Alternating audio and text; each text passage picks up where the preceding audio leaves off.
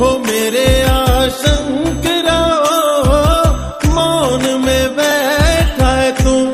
ओ